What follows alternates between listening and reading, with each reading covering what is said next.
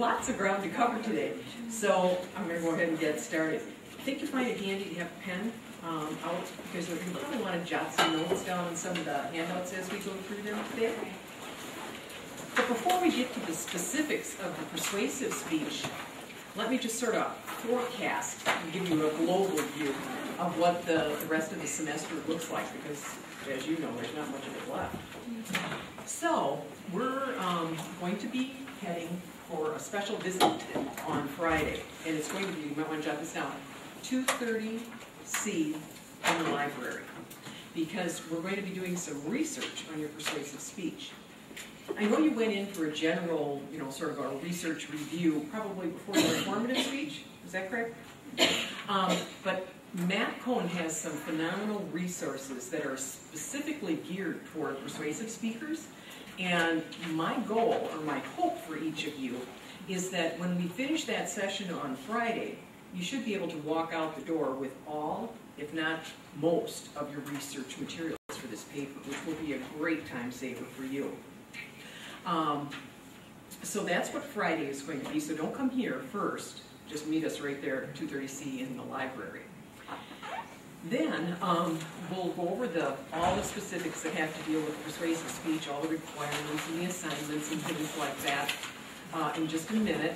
But then um, let's also forecast um, how that's going to look. So we will start, you know, with our research on Friday.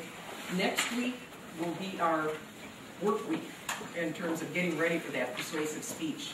We also have a few of the ceremonial speeches that we need to finish up on Monday as well. So it'll be a busy week next week. Then we'll spend the remaining, the, actually the last two weeks of the semester actually presenting the persuasive speeches.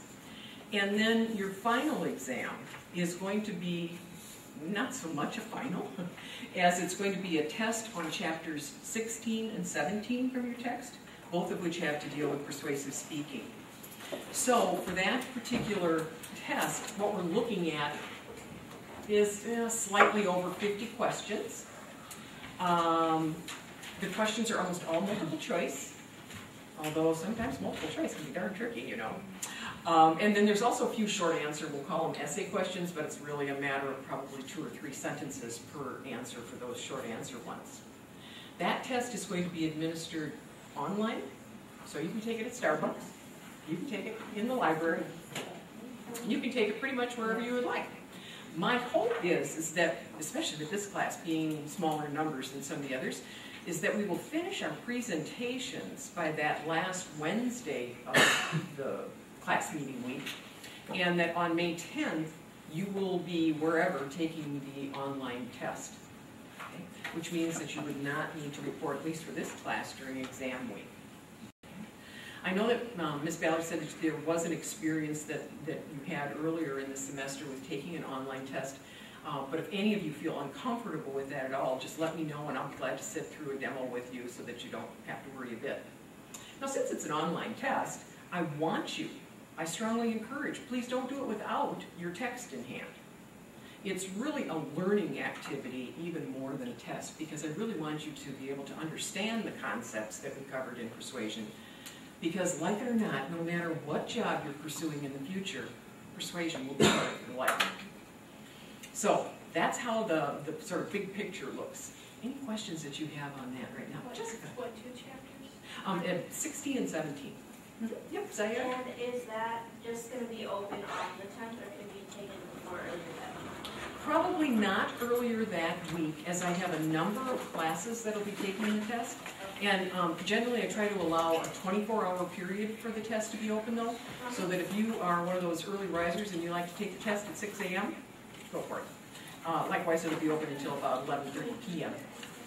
Um, is it, like, so can like start at like seven and then finish it later? Like, Um, or does it have to be taken all at one time? Thanks, that's a very good point. Um, the tests have a way of timing themselves out. So if you start the test and you get halfway through, and then you go, oh shoot, I have to take the dog for a walk. and you come back and the test will say, oh, so sad, too bad. So yeah, you do have to do it in one setting. So you just have to kind of look at your calendar and go, hmm. And I'm thinking with 50 questions, if you allow, this is generous, if you allow yourself two hours, you should be fine. Yeah. Um, is this something where we could take it with others? No, thank you so much for clarifying that too. This is, Right. again, the expectation is, is that this is your test. Right. As an individual. Does that make anybody terribly nervous? It does, please see me because I'm happy to help you out with, you know, the techniques on how to take an online test and so on. All right, so, um, one of the things I did earlier today, that some of you have already mentioned, is that I put together a list of what's due when. And so this, I think, will help to allay some of the fears that people have, because once we get done with the hour today, it's going to feel like there are a number of things that you're responsible for, and guess what? You are. So I put it all together in a simple, easy to follow list for you. So let's, um, we'll start talking about persuasive speech. But before we even do that, I'd like to ask kind of what might seem like an off-base question. How many of you have brothers or sisters?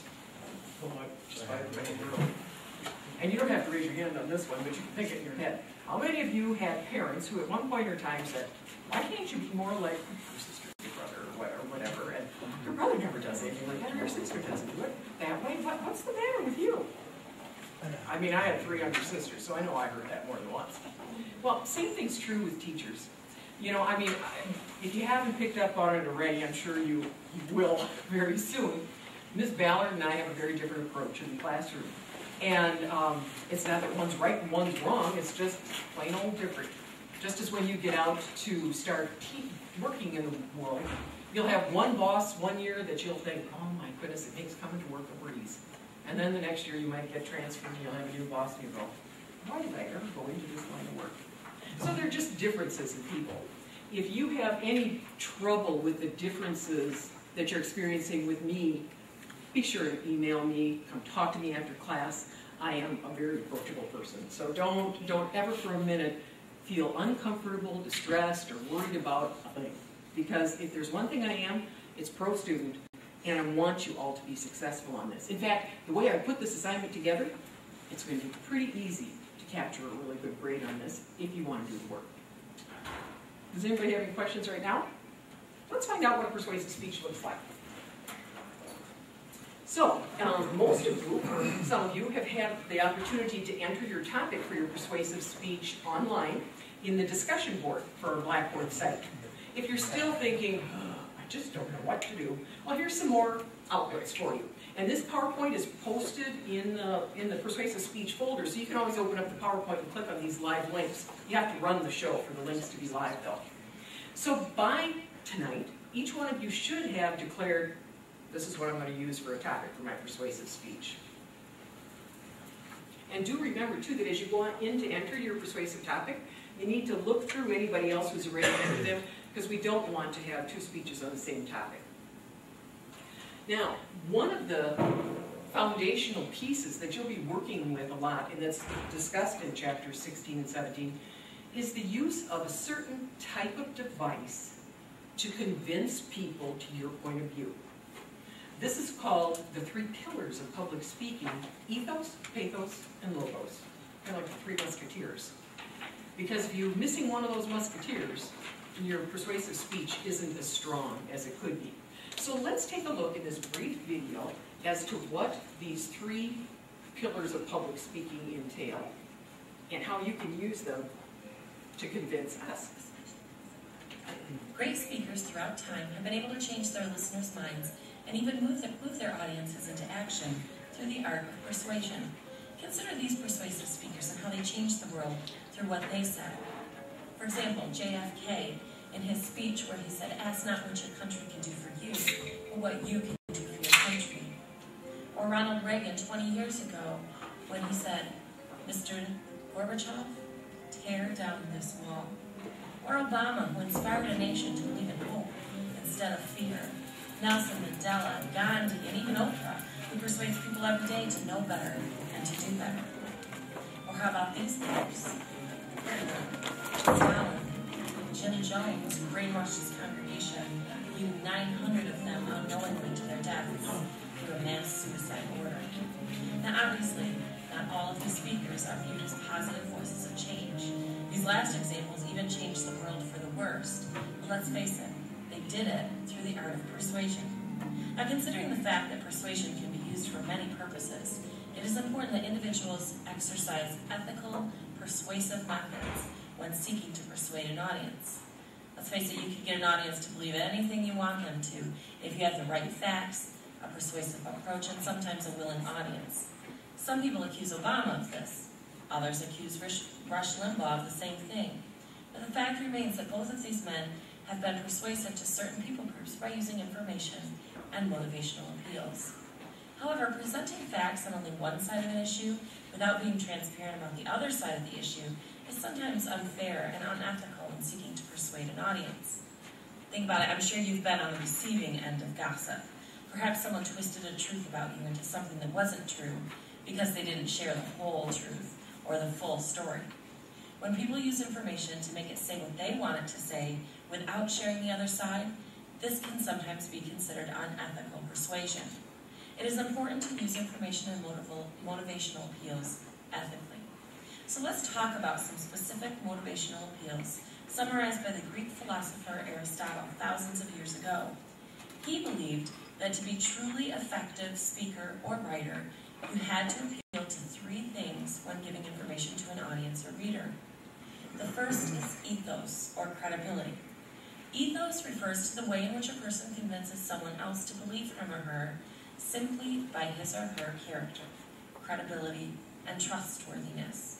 We tend to believe and follow people we can respect. One can often increase ethos by being knowledgeable about your topic so that you have the authority and right to speak on the subject matter you are presenting. Another way to increase ethos is to appear thoughtful, fair, and respectful of alternative points of view. Your accuracy and thoughtfulness in crediting your sources, professionalism in caring about your speech and its structure, your proper use of grammar, and your overall personal neatness are all part of the appeal to ethos. The second motivational appeal described by Aristotle is pathos. Pathos refers to persuading by appealing to an audience's emotions, values, and beliefs. Word choice affects the audience's emotional response, and emotional appeals can effectively be used to enhance persuasion. This means that your speech should not only be someone else's words or research, you must tie together your research by crafting your speech with your own words in a way that is persuasive and interesting for your audience. The third emotional appeal is logos. As you may assume from the term, logos is an appeal to reason or logic. This will be the most important technique you will use in your persuasive speech, and was Aristotle's favorite. It includes the internal consistency and clarity of your speech. It requires that you make a claim and use quality reasons and evidence to support your claim. Just like a lawyer crafts his or her argument with a logical flow that appeals to the minds of the jury, so too must you put together a speech that has a logical flow of persuasion. Giving reason is the heart of persuasion and cannot be emphasized enough. You simply cannot and should not seek to persuade without strong information and a strong logical flow of that information. Using ethos or credibility, pathos or emotional appeals, and logos or logic is important for any persuasive speaker. If you're seeking to truly persuade an audience, it's important to have all three. Like one leg missing from a three-legged stool would cause the stool to collapse, so will your argument or persuasion collapse if you're missing one of these important motivational appeals. Remember, persuasion is not just standing in front of an audience and rattling off facts in hopes that your information will get an audience to change. The speaker must play an active role in persuasion.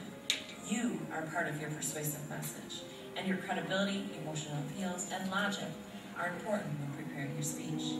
So good luck as you prepare to persuade.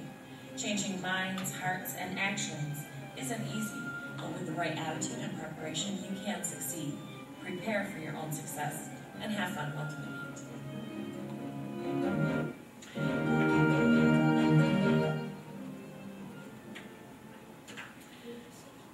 So I jotted just some quick notes down here just to help you keep those three different pillars uh, separated in your own mind. Whenever you say, after doing a lot of research on this topic, after investigating seven different websites, whenever you say things like that, What you want your audience to do is to go, whoa, this person did their work. They know what they're talking about. That's ethos. That's your credibility with us as an audience. Um, pathos, if you think of pathos as the heart, you know, if you can bring a tear to someone's eye, if you can cause them some internal anguish, then you're doing pathos. So you're appealing to our emotions, getting us to feel, you know, concerned about your particular topic. And logo, sorry about that, forgot the S. Logos, on the other hand, um, if you think of yourself as a lawyer, up here, putting together a case and encouraging us to follow a certain action, that's a lot of the logos aspect of this particular speech. You're analytical. You are putting together excellent sources of information and you're citing your research so that we know you have a credible argument that you put together. But it's just not enough in this speech to say, you know, there was a study I read some time ago that said, no, that's not going to impress us much. You need to be able to cite your sources and build your, you know, your, your contact with us on that. Um, for those of you who remember, does anybody remember Star Trek? Hope you do. Spock. If you remember Spock, Spock was a character who had the pointed ears, and no matter what was being said, Spock would go, hmm, that's not logical. And he wouldn't accept any arguments that had anything to do with emotions, but rather he always wanted the logical appeal. You need to pick up a card?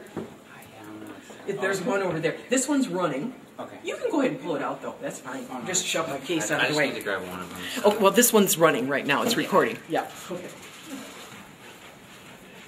So those are the three ethical pillars that you'll be using in your speech preparation. Now, what you, you're not going to be just sort of creatively deciding how you're going to persuade us, but rather you're going to use a very specific way of putting this speech together. And let me tell you that in many aspects, this makes your job so much easier. You don't have to think it all up on your own, because if you follow the sequence that I'm going to share with you, number one, you'll meet the requirements of the assignment, and second of all, you'll have a very credible, persuasive speech.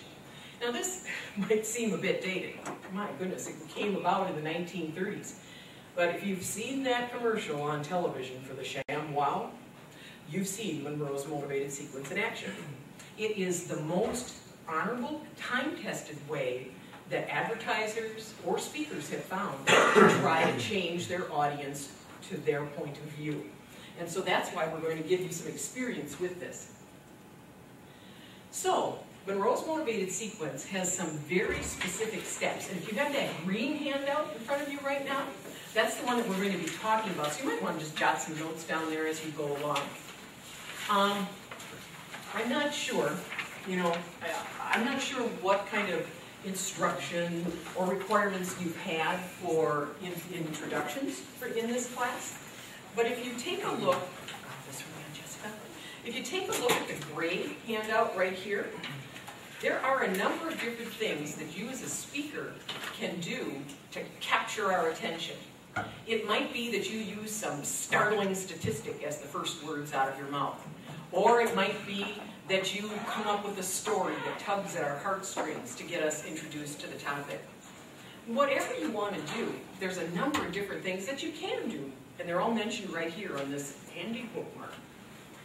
But you'll notice up here that I have one caveat. I'm saying, don't you use a rhetorical question. Anybody have a guess why I would say no rhetorical questions?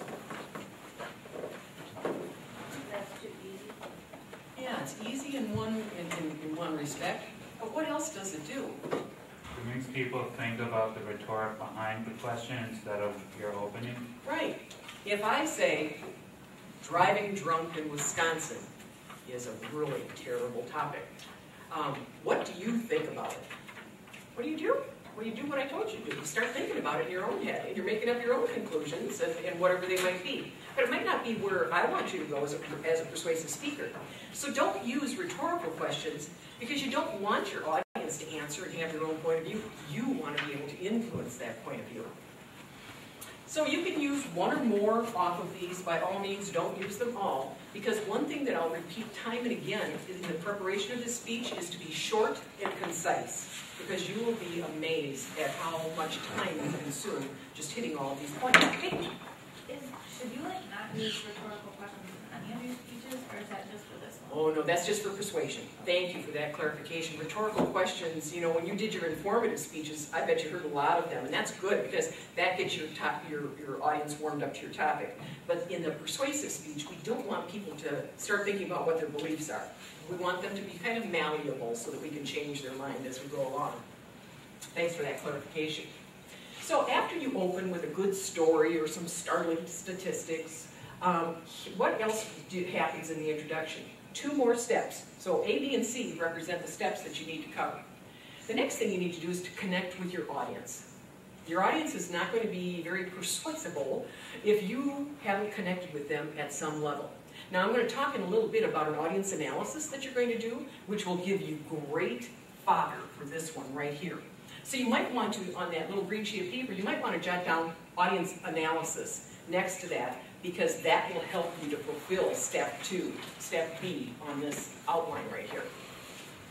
And then the third step in every introduction should be ethos. And we already talked a little bit about what ethos is all about, but you need to establish yourself as an expert in some way, shape, or form on this particular topic. So what are your credentials? For some of you, it'll be, you know, I've been, I've been living with this all my life. For some of you, it will be, I've read seven articles that have to do with the topic today. Um, uh, so, you know, what is it about you that makes you qualified to stand up here and take up our time? Questions that you have on the introduction. Three easy steps. Okay. Step two, Roman numeral two right here. This is where you introduce the problem to us. But the solution does not pass your lips. You have to, if you'll excuse my broken English, awfulize the topic for us so that we care about it. You have to show us how terrible this problem is. And how do you do that? In four easy steps. Step one, state the problem in as simple uh, terms as you can. One sentence, clear, clean, crisp, concise. Think of yourself again in the role of a lawyer. Then go on to illustrate the problem. Give us some examples, tell us some stories, share some statistics. Here's where you want to use the other bookmark. All of the verbal supports that are here are different ways that you can use in, in the B part of this, of this particular step. So, you can do an analysis, you can do brief examples, you can do yada, yada, yada. They're all listed here for you to think about and ponder. You have to realize that when you do your research on Friday, that's what's going to give you the ammo for those. Then, in step C, you have to show the ramifications of this problem. Does it cost something? Does it present a health risk for us? What is it that is, is the you know, the, the implications of this particular problem on us. So that's the ramification step. And again, that's probably two, three sentences. It's not two pages because you don't have time. Clean, crisp, concise. Then, the last thing is that you point out how this affects the audience. So I've told you about the problem of drunk driving in Wisconsin. Who's next? Who will walk into class one day having lost one of their loved ones? Whoa. Big honking use of pathos as I point out the direct effect of this problem on you. So, questions on the problem step. Do you know the solution yet? No. Then what comes next is probably something you've used in your other speeches. They're called transitions. And I always love the image of a bridge because with the bridge. You start out at one place and you end up someplace else. With this transition from bridge in your persuasive speech, you start out at the, at the problem. So I've described to you the issue that drunk driving has become in the state of Wisconsin. And you take us across the bridge to the solution. Now, let me tell you how we can remedy this problem. So it's just one step it should connect. So you should mention the problem and then mention that you're, that you're going to the solution. That's the purpose of that transition. It's one sentence. Now, we get into the big stuff, the big guns. we go to the solution step of your problem. Five steps that you need to do. This gets a bit complicated, but it also, if you catch on to these, this is what you're looking for when you do your research on Friday. Step one, state the solution, please, in one clear, easy to understand sentence. What is it that will solve this problem? Not a paragraph, a sentence. Then, in part B, go on to explain who will have to do what to make this conclusion work, what will have to happen, when will it happen, how will it happen, and then flesh out the solution in step B. In step C, and throughout your speech, don't ever fall into the trap of saying, oh, I read a study once where, but always use citations, because that increases your ethos, and it also creates a believable argument. So in step C, you show how the problem is going to solve it, uh, solve this, how this solution is going to solve the problem. Step D is kind of interesting. You might remember from the video where they said that it's unethical to present just one side of the issue. Well, let's make sure that the audience doesn't think that this is just your way of solving the problem, but discuss other people who have used the solution. And depending on the topic of your speech, this can take on lots of different forms. It might be what other states have employed. Um, it might be what other people you've known have done. I, I can't answer the question specifically as to what that will be, but find some information that shows how others have used this solution to create an answer to the problem. And then, as again, in reference to the video, who's going to be against your, your um, solution to the problem? Acknowledge at least two objections that people might have to adopting your solution, and then refute them. Doesn't have to be a long one again. You know, some people may say that if, uh, if people are not allowed to drive drunk in Wisconsin, that will decrease our tourism. Well, to that I would reply, want to say a couple of sentences about that. So you get the gist of how that works. Is it making sense? Sounds like an old Perry Mason show? Yeah, a little bit. My favorite part, part four, is visualization. You have been like a lawyer up on stage, kind of hammering home the points and citing your citations and building this case and giving your solution. But now you step back, and I like to think of, of step four as being the poet in you. If you don't follow my solution, here's what the state is going to look like. There will be more people missing at the Christmas gatherings. There will be more people dying far too young and not living up to their full potential unless we do something about drunk driving. And then, after you make us all, you know, really feel the pain of not following your solution and what the world's going to look like without it, then you go, ah, but the world can be a brighter place. If you follow my solution, this will happen, this will happen, this will happen, and the world's going to be a better place. So you take us down to depths that are low, and then you bring us up to the heights with the second step in the visualization process. It's a great place for the storyteller and all of you. Guess what? We're at the end. The action step. The action step is the last thing out of your mouth, and it has three easy to follow steps. One, you're very familiar with, summarize your main points. Um, and then in step two, B, restate again why this is so important to the audience. You've got to get them. It's, it's the audience is what it's all about. And then finally, this tricky little C, call to action. And I know I've given some examples in class already about effective call to actions, but it really has to be, for this speech, I want you to explore what you can do that will have a concrete action. It's not enough to say, I want you to think about drunk driving and make sure you never do it. That's soft. That's windy. You know, what is it that you can do in a concrete action step that, that might, that, that you could have the audience do? Sign a petition. Give them a, a listing of a website where they can look up information. Something concrete that the audience can do. I know, for instance, today until five in room one forty-two, they have a drunk driving simulator. Uh, encouraging your audience to attend an event like that might be, Exactly, but not just encourage Well- them. Hand them a card that says, here's where the drunk driving simulator is going to be next. It's going to be here on this date at this time. Sign up. So something physical that Be you there or you'll die. There you go. And there's a little bit of pathos going there. So in a nutshell, those are the steps in the Monroe's motivated sequence. Now, let's pause here for just a second. And give me questions about anything that seemed unclear or head scratching on that. It's a lot.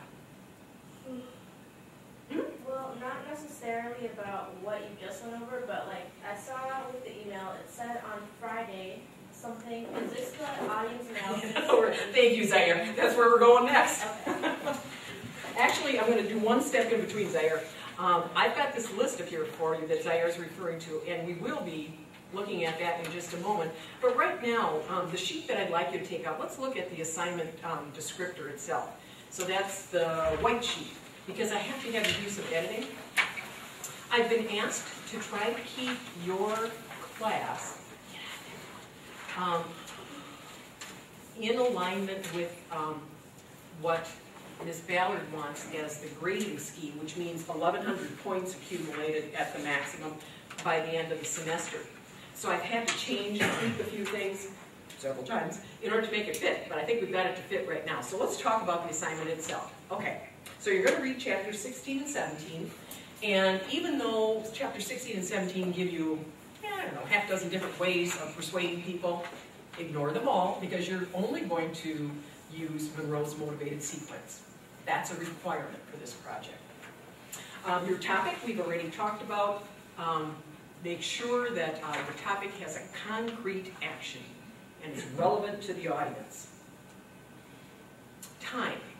I know this might seem like a lot, but it won't by the time you get done writing. The speech has to be six minutes long, but no more than eight. And for me, the acceptable range then becomes five and a half to eight and a half. So that's a pretty big target. If you're flying overhead with a parachute strapped to your back, you ought to be able to land within that amount of time. But the only way that you're going to be able to do that is if you rehearse. You really have to rehearse this speech until you get three perfect practices in front of your bathroom mirror. That's what it takes. You can't, unlike a paper that you can, some of us who are talented can pull off in one night, you can't pull off a speech, not very well, in one night. You are going to be required. And if anyone doesn't believe that, they are free to watch the video of my last speech on Blackboard. Um, you're too hard on yourself. Visual support, you have to use something. It can be a PowerPoint. Here's some, I've had some pet peeves, I'll admit it. Oh, I can be cranky. Um, I get cranky when I see people uh, pull up a PowerPoint, but they don't run the PowerPoint, they just click on an image here, and then it's like, oh, I think this is the one I want to show you. Oh, oh no, that's not it, I want this one. Oh no, that's not it. Oh, drives me nuts. So if you're gonna use PowerPoint, use PowerPoint. Run the program. This is, this is really hard for me because we, we aren't allowed to install plugins or anything on the school computers, and whereas it would be very easy and possible to have something on your phone to change slides or hit something on your, you can't do it because you can't run the client-side PowerPoint plugin to control PowerPoint with your uh, phone. Is a laptop an option? If I had a long enough cord, then I could hit a button on my laptop while I was Well, in front of the podium. All I'm thinking is, who was it that It's Was still, it you that did- You hooked your computer up here, right? that's not a bad plan. That's what I did. I think she just means be organized enough to have it flow Yeah. smoothly. Yes, exactly. No, I'm just saying that's been a problem for me because it, it sucks to go back to the Oh, keyboard to and change believe me, slides. Arlen, you are identifying an issue in the work world too. You know, somebody walks into a corporate meeting and you've got your PowerPoint all ready to go and oops, they don't have the same version. So, yeah, by all means, let's test out anything that you want to show so that it does work here. But it doesn't have to be a PowerPoint. You know, you can have a very effective printout of a graph or a diagram or something you want us to look at and put it on the doc cam. Shows up really well. Yeah, but it's good to get experience making these since that's what we would be using in the real work world. Yeah, it's, it's, it is, it hasn't gone away. People trash PowerPoint, but, you know, it has a lot of advantages too.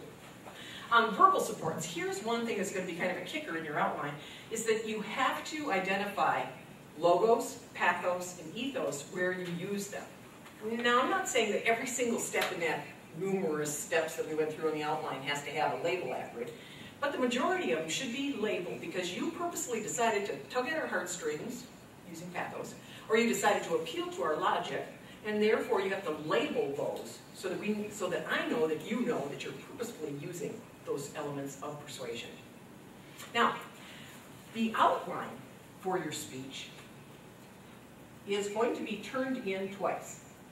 She said twice? Yeah, she said twice. Um, here's the deal. By class time, next week, Wednesday, I want you to have submitted online a draft of what your persuasive speech is going to look like. And I'll show you the outline format in just a minute. And then the final copy of your persuasive message is going to be posted on, on Blackboard on Friday. So let's kind of move quickly during the next week, I realize that. Now, the kicker is, not only do you have to submit it on, on by next Wednesday, but you have to bring five copies of your preparation outline. We know it's a draft, it doesn't have to be perfect, but bring your, your draft in, because we're gonna use it for a really valuable class exercise that will help you to improve your speech. So those are two assignments. You have to have three, I call them reputable, sources. Wikipedia, not a source. However, if you scroll down to the bottom of almost any Wikipedia article, there are some, there are some sources that the person used that might be very good indeed. So don't discount it, it's just that you can't cite Wikipedia as, as one of your sources. And again, like I say, on Friday, my hope is, is that every one of you will walk out of class with at least two-thirds, if not all, of your research materials in hand. When we get done with this and you get to view your speech, which you have to do, I'll be recording these, then I want you to sit down and have a good heart-to-heart talk with yourself. How did you do? I'm not grading you on, you know, whether you think you were wonderful. That's not it. I really want you to be, give yourself an honest appraisal of what worked, what didn't. If you're human, and last time I checked, most of you are, it, it's probably not going to be a perfect speech. Nothing that we ever do is perfect. We're human. So, you know, take some time to reflect on that. Now, here's where I need you to have pen in hand to correct the copy that you have. Because like I said, I had to get this to fit within the framework of, uh, of 1,100 points. And so the draft outline submitted and brought to class is worth 15 points. When you bring your draft outline to class next Wednesday, and you help in a work group that I'll set up, you help that those other people to edit your outline so that it achieves, you know, a high level of perfection. You get an additional 10 points for that. You can't do that outside of class. You have to be here to win. 15 points is for your audience analysis, and I promise I am going to get to that next. 75 points for your final preparation outline. 150 points for the actual presentation of your speech.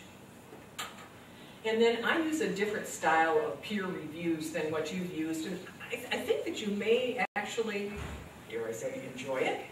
Um, I put together a packet for you, and it has three or four specific questions that you have to answer. And you'll be kind of on the fly, quickly critiquing each person who speaks here.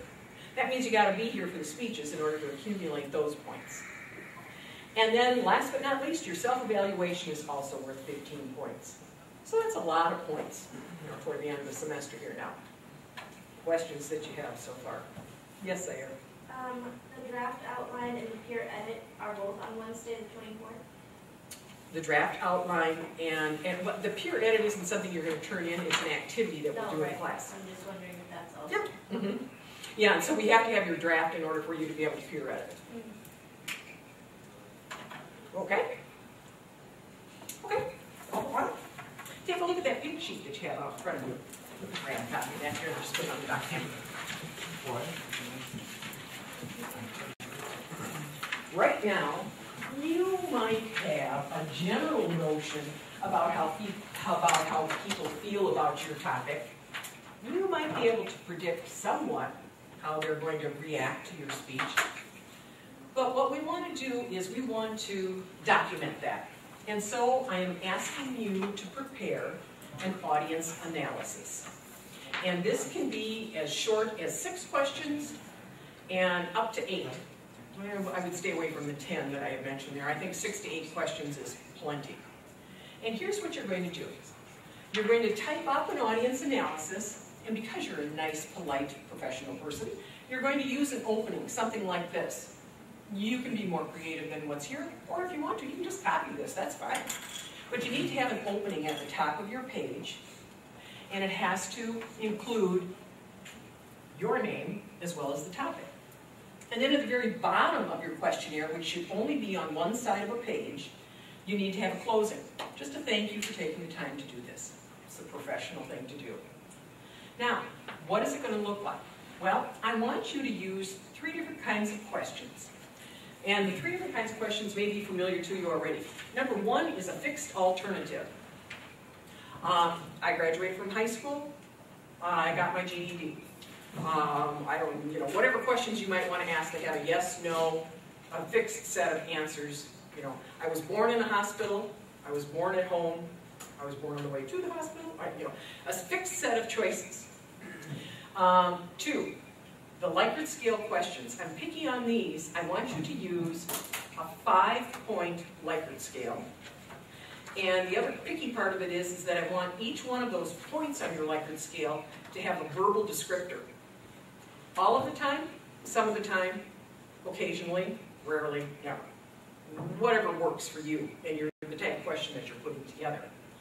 Um, that's what a Likert scale question is. And then no more, and I'm hoping just one, but no more than one or two, um, open-ended questions that should be able to be answered in one to two sentences. And again, craft these carefully because you're trying to mine for gold. You're trying to figure out where this audience is at on your topic and what their preference or viewpoints are. So, you have to use two Likert scale questions. You have to use two fixed alternative questions. You have to use one open-ended question. And then to get up to six questions, you can you know, use whatever combination that you want to to get there of these types. You type your questions out. Here's my offer to you. If you're able to put together your questionnaire and email it to me as an attachment by Friday noon, I'll make the copies for you. And I'll have them here for you on Monday. Um, when you do that, I will send you back a confirmation email. If you don't get a confirmation email, you may have thought my, my middle name was Allison, it's not. So you might have typed my address wrong. So I want you to know that I got it. But if you, you don't get a reply from me, then you know that something's up. And then in which case you have to break. If you aren't able to pull that together by Friday, that's okay. Then you do it over the weekend, but then you bring the copies in. And we need, how many are we? 21? Uh, let's, let's say 21 copies you need to bring to class on Monday. Send it to me by Friday, I'll make them. Otherwise, bring your own on Monday. Questions on putting that together? Think about those questions. Think about the most valuable pieces of information. Because remember that introduction where you're connecting with your audience? Some of that data should be able to be pulled in there. Now, you will eventually tabulate all your results and you will print your results right on the form that you developed and then that will get submitted for a grade as well, the tabulated results. Questions? Okay. Let me just real quickly. So, which over here? And I want to just tell you what else is in the folder here and go over the outline with you just briefly. So, okay, so here's that PowerPoint that I just did today. So if you want to look at that again, it's right there for your viewing. Here's the assignment descriptor. You've got a print copy of that. Here's the Monroe's motivator sequence copy that you've got that in green. Um, this is a really nice handout on the three pillars of persuasion, logos, pathos, and ethos. If you need some more in-depth explanation, this is a really great handout. Your audience analysis that I mentioned is right here is where you're going to, um, that's the descriptor of, of what it was. Here's where you're going to submit your tabulated audience analysis results. Remember I mentioned to you that you're going to have a draft of your preparation outline, that gets turned in here. Your final preparation outline gets turned in here. Um, this is what I'm going to evaluate you on, so you might want to pull that up and take a look at it. We'll talk a little bit about logical fallacies to avoid. Chapter 16 and 17 PowerPoints are here. You don't have to look at them, but they do have video examples embedded in them. And then here's your self-evaluation form. here's where I'll post your videos, and then here is something that a lot of people ask for, you know, and I, I just have never gotten it together until this time for you. So, what I have for you, if it comes up, is that I asked permission of one of my students who gave what I thought was a pretty doggone good speech. Now I have to tell you, nobody's speech is perfect, so if you watch it and you think, whoa, what's with her? Well, nobody's speech is perfect. But he came pretty doggone close. The only thing he didn't do was adhere to the timeline, because I think he goes on for about 10 minutes. So that he got off for on the score. But here is a copy of his speech, a real live Massey College student. You know. Maybe you do, maybe you don't. And then here's a copy of his, what I think is a very excellently prepared outline. So if you are the type of person who, oh man, I can just see what this looks like, it would make life easier, there it is for you. Now, I have three minutes left. And I am going to use them all, because now I want to take you over to the preparation outline. Now, this might seem a little silly, but I don't want anyone in here to not be successful. So, here's what it looks like. Me open it up. I'm going to ask each of you to open this up and type right on it. And this is the part that's going to seem a little silly. I don't want you to take away any of my words. Leave my words on there. Because those are kind of like my guides to look at your outline as we go along. So you are going to fill this in. To persuade my audience to whatever it is you want to persuade us to. You are going to write a central thesis or idea for your speech, and you're going to type it in right here. You are going to write out word for word what you're doing for an open with impact, whether you're using a quotation, some statistics, you're going to write down exactly what it is you're going to say. And then up here, you're going to tell me which device you used. I used a quotation. I used statistics. I used a story. Then, when you connect with your audience, what are you going to say? Type it out, word for word for word. When you establish your ethos, type it out, word for word for word, what you're going to say there. Now, when we get down to this next part, you don't have to give me paragraphs. You can do this in just phrases and words so that I can follow along. So each step that we talked about in the Monroe's Motivated Sequence is laid out for you here.